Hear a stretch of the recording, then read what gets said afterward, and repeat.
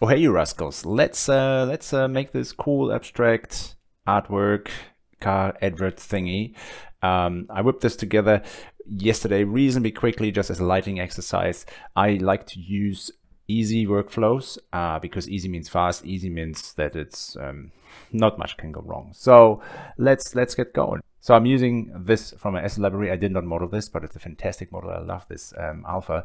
So you actually see what the difference there is. So if you bring an instance, uh, an asset in, and you have instances deactivated here, then you will be able to uh, over here actually access each part of the of the model rather than having only one um, node there that controls everything and you won't be able to shade anything because this uh, asset at the moment is unshaded and I need to give materials to it.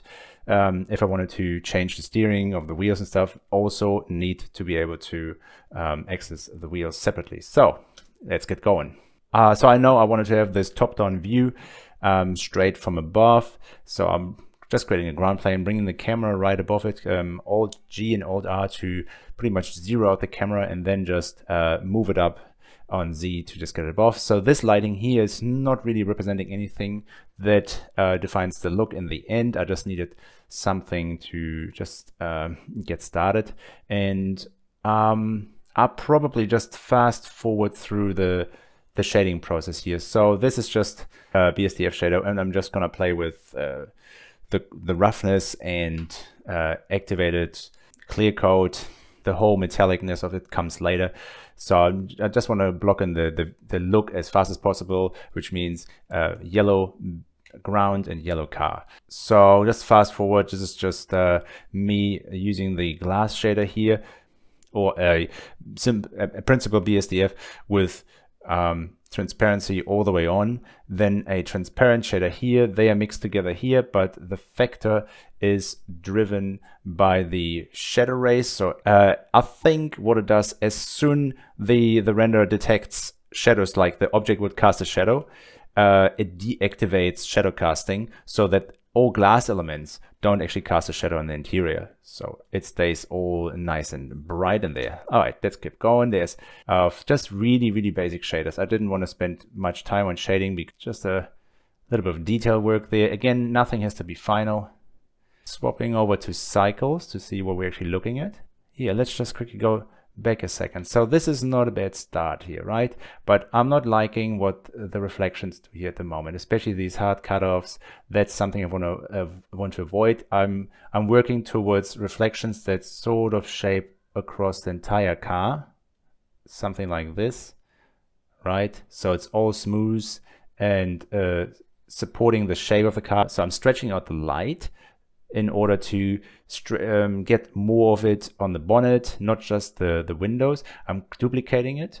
The, what I'm trying to do with the duplicate is just get more of the light reflection towards the, the top of the, the front of the car.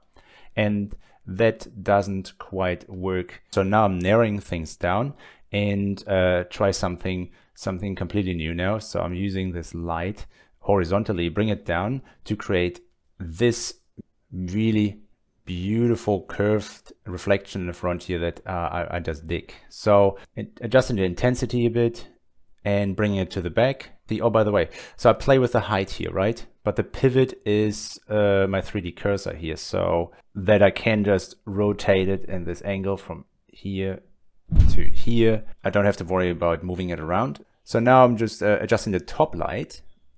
Again, I want to I want to get a bit more punch in here. But what happened now is um, is that the back of the car here gets significantly brighter than the front, and that is because over here we see that the shape of the car goes up and then just gently tapers down. So these areas here are closer to the light than the bonnet is. And that means we get more brightness in the diffuse channel, lining up the, the angle of the light a little bit better with the angle of the of the car the way it just goes from low to high gives me just a, a more balanced um, I copied the light from the front to the top here. So we have a light here now and that light creates uh, these really cool highlights that then go into the air intake, but also we have they, they curve around here. So it's just really nice support for especially like cars that have a lot of round shapes. So I did not like how, how solid this, this reflection here is. Uh, oopsie daisy.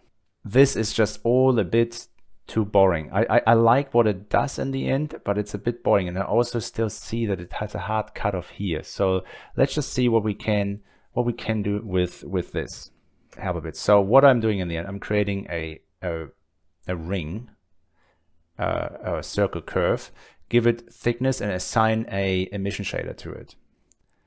I'll then say that uh, this uh, object is um, not visible for the camera. So the here's the camera, here is the ring and the cars uh, down there. So we want to avoid that obstruction. So the reflections flow very nicely over the entire car and that is just so much more elegant than having stuff just chopping in and out here and there. Uh, but it also increased the exposure on the front and the end of the car bit. So we need to uh, balance that a bit by playing around with the, the size of the circle a bit and uh, its placement. So that's what I'm doing right now. I'm, I'm stretching it left and right to just reduce the exposure on the edges. And that works nicely. Um, however, the top of the car is now a little bit too underexposed. So everything here just gets a bit too dark, especially in comparison to the front that is still in the back. They're still very hot. The, the yellow tones are practically uh, maxed out. So um, I feel like uh, I have to dial this back a little bit and just focus only on the reflections right now.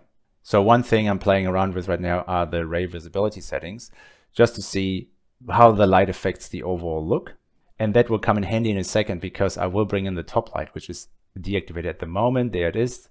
That's now we're having double reflections. We definitely don't want that. But what is happening, that the top light that we have here, this one here, right there, that is balancing out um, the underexposed post area that we had here right now. So, so in order to make things a bit more interesting, I'm going to play a bit with that uh, emission loop now. So scaling it down and duplicating it so we get this like race stripe look. And I think I like it, but not quite that sharp, that harsh. It's still very flat. So I undo that and then I go into the um, uh, shader editor for that for that emission loop and bring in a layer weight node put the Fresnel into the color and voila, what we have here is actually really, really nice. It's a bit underexposed right now. Uh, we get to that in a second, but but what we have here is, I hope you can see that, we have this faint Fresnel outline that the look is is fantastic. I totally, I totally dig it. Also, uh, quickly jumping back on this before we miss it. So I activated the, the overhead light again, right? This one right above the car there. And I go in the settings for this light and I'm playing now with the ray visibility settings down here because I want to get rid of the double of the double reflections, especially in the in the in the in the glass elements. So by deactivating, oh, that was a bit faster. Ah, here we go. By deactivating uh, transmission, um, potentially glossy as well. I can't remember right now, so both are off. I only see the reflections from the, the emission loop while that light, that overhead light is only helping with the exposure of, of the diffuse element. Of. So by doing that, I get the reflections from the emission loop and the nice flow, you know, that those nice flowy reflections across the entire car. But I also get the exposure correction, the, the brightness increase from the overhead light without affecting the reflections, if that makes sense. And that's practically that's practically the look. So now I'm just mucking around a little bit with uh, last tweaks. So I'm gonna skim over that. So the engine block was just a bit too chromy, so I gave it uh, some some more like dark metal so in the same with the interior, is just uh, was just all too dark. So I'm bringing in yellow leather uh, to match the exterior paint job, and then just a few little detailing jobs here. Nothing that really changes the overall uh, look anymore. It's just nibbles. So and there we are. this is this is uh, this is it. I hope you found this helpful. I hope there was uh, a few cool tricks and the simplicity in this. And um, well, see you next time.